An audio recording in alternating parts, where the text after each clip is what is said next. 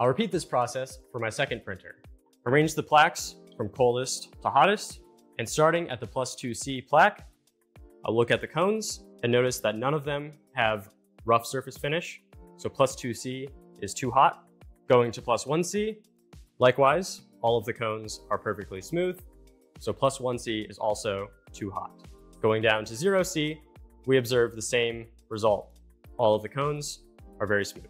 For minus 1C, the results are the same. Smooth cones all the way around. Lastly, on the minus 2C plaque, we see our first evidence of rough surface finish affecting multiple cones. This indicates that the optimal adjustment for this printer is minus 2C. And lastly, to confirm my choice, looking at the grid side, there is no pitting and very mild dimpling of the top surfaces at the intersections of the grid.